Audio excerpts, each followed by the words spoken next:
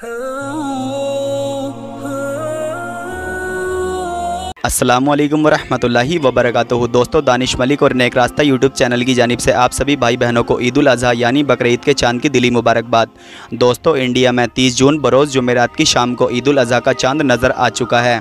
दोस्तों इन अब इंडिया और पाकिस्तान के अंदर ईद अजी यानी बकरा ईद दस जुलाई, बरोज़ इतवार के दिन मनाई जाएगी। तो दोस्तों, आप सभी भाई बहनों को मेरी तरफ़ से एडवांस में ईद अजी यानी बकरा ईद की दिली मुबारकबाद। दोस्तों, आप लोग भी कमेंट बॉक्स में ईद मुबारक ज़रूर लिखें। दोस्तों, बकरा ईद के मौके पर मेरी आप लोगों से छोटी सी गुजारिश है कि बकरा ईद के दिन कहीं पर भी ऐसी जगह कुर्बानी ना करें जहाँ पर भीड़ भाड़ वाला इलाका हो और कहीं भी खुले एरिए में कुर्बानी ना करें और साफ़ सफ़ाई का पूरा ख्याल रखें, कहीं पर भी गंदगी ना करें, जिससे कि गैर मज़हब के लोगों को हमारी वजह से किसी दिक्कत का सामना करना पड़े। आखिर में अल्लाह रबुल्ज़त से दुआ है कि अल्लाह रबुल्ज़त हम सब की कुर्बानियों को अपनी बारगाह में कबूल अता फ़रमाए और हम सबको ईद अजी की खुशियाँ नसीब फरमाए। आमीन या रबालमीन